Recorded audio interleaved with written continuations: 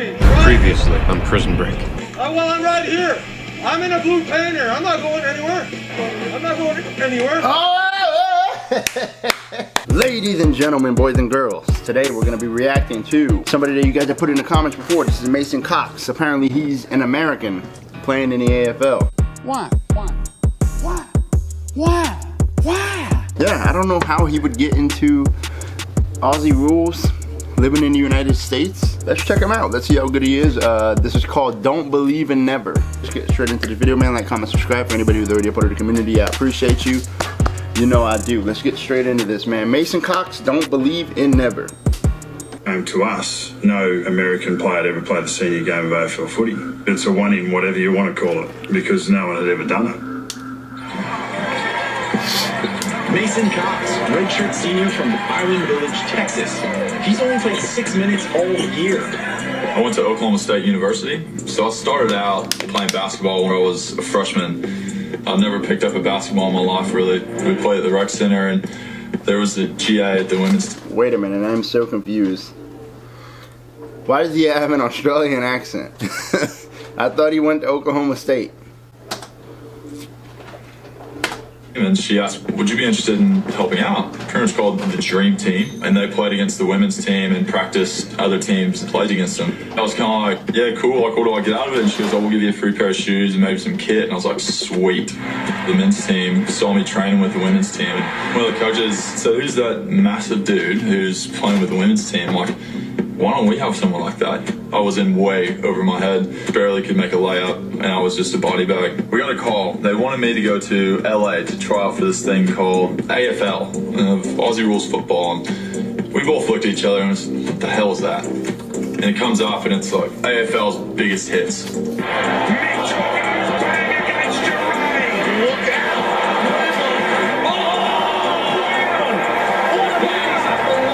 I just kind of look at him and laughing and going, is this really a sport? I'd already accepted a six figure paying job at ExxonMobil. So I went to the tryouts. Everyone that was there was interested in myself. It became pretty serious pretty quickly. That week, I threw the cap in the air, you know, I got the degree on stage, made my parents proud. A week later, I flew to Australia and my life changed. What? I'm sure that there's like that there's there's more backstory to this. I think he's just like skimming through it and and just just fast forwarding a lot of the stuff, but he just decided to go to Australia in one week, The whole concept of me coming to Australia was and he somehow has an Australian accent. give me a showcase of what AFL was. Saw my first AFL game, sat next to a North Melbourne player. He explained to me, you know, that's six points. That's a point. As opposed, it's worth a point. You know, they point the opposite direction whenever they really mean that way. And at the end of it, I remember he goes, okay, cool. So these are the teams that are interested in you. Here's the contracts. Um, let me know what you think. The international rookie's a whopping 211 centimetres, the same height as Aaron Sandilands. Looks quite exciting. I remember getting on the plane I thought, what have I just done? I've just given up five years of hard work and thousands of dollars of education to go play a sport I've never heard of in a place I've never been with no friends or no family in, in Melbourne. They stuck a footy in my hand and I thought it was uh, pretty much rugby ball. Like I had no idea. The kangaroo skin and the Sherrin. I did say that it looks like a rugby ball, and you guys ate me up in the comments for it. It does look like a rugby I don't know. ball. Like it was all so foreign to me whenever I first started. His kicking, his kicking was quite average. It was a crash course, essentially, of just what AFL was. Craig McRae and Anthony Rocca spent two and a half months with me and come around training the first day. It was sink or swim, really. We do this one drill and you get a handball off to the coach, and of course, Box is the one who you're handballing to. Go to handball to him. And I just remember looking at it and I looked back and going, okay, we've got a bit of work to do here. Kind of like locked eyes for a second. And I could just see in my mind, just what have we recruited? Players generally had a lot going on, but Mason's still trying to work out this new game, whether he fits, if he fits. Am I embarrassing myself? But at the end of the year, I got to the point where I was thinking, I might actually feel comfortable in an AFL game.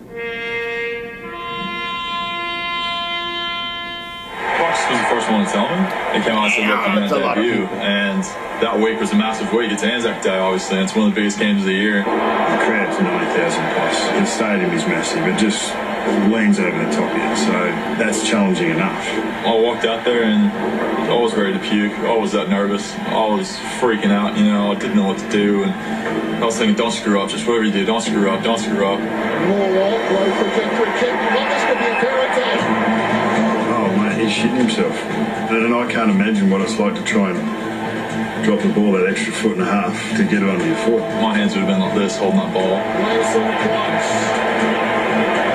Who rides it home. First goal. Americans in a first game. The first goal on Anzac Day. Didn't that, that didn't happen. Not that we needed to keep him grounded, but it was our job to keep him grounded. It's bloody hard. It's a big step from the VFL footy that he was playing to playing AFL footy. At the end of 17, was playing VFL, you know, I'd gotten dropped a few times, we were playing small. He had to set himself a new goal of being one of the best forwards in the competition. Forward, I was about to ask that. What position did he play? Drops what he should have taken. Oh, he couldn't look the big fella. Mason Cox here, guys. This was just off the ball. I had the worst game of my career. I can probably say that pretty comfortably. I don't think I had a single mark the whole game and had maybe six touches or something and get suspended for the next week. Probably a low moment in my life, I'd say, of thinking, did I choose the right decision? Look at this. Cox has been left alone. He plays on. He's gone. Whatever Mason Cox can do as a permanent forward, I suspect Ben Root can do better. Damn, Listen, they're you know what? laying This is a on them. last ditch effort to show them what you're worth, to show them you can do this as a job. This is your career that you want to do for the rest of your life.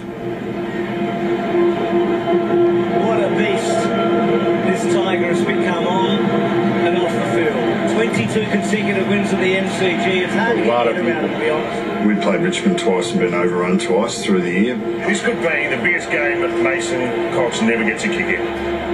Prelim final MCG. Matt Stevie holds the ball. That's a huge stadium, bro. Richmond take on Collingwood. It happened pretty early. Straight into the waiting arms of Galore. Cox is the biggest man. It was in. It was clunk, clunk, clunk.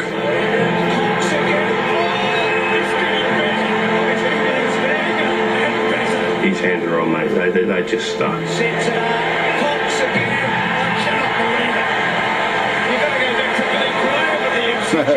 That's lit.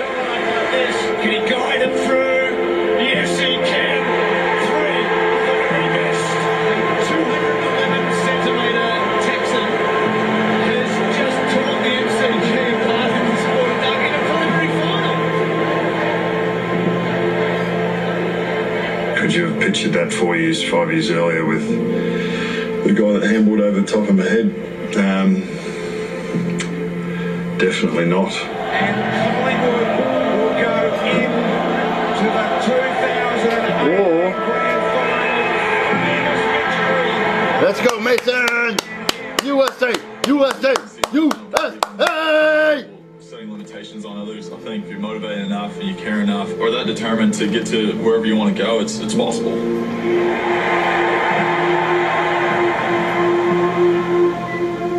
You can't write the script any better. Well, you could have. We could have won the grand final. Imagine that story. Alright. That's gonna do it for today. Mason Cox. So where does he rank? What does he rank right now? What would you guys say? Top 10? Top 5? I really want to know why he has an Australian accent. Where is he playing right now? Is he is he is he still killing it? Yeah. Let me know down in the comments anything that you guys would like me to add to this video or any other players that you guys would like to see me react to. I'll make sure to check it out. This is Almighty Beast Mode. Thank you very much for tuning in today. I'll catch you guys in the next video. Peace.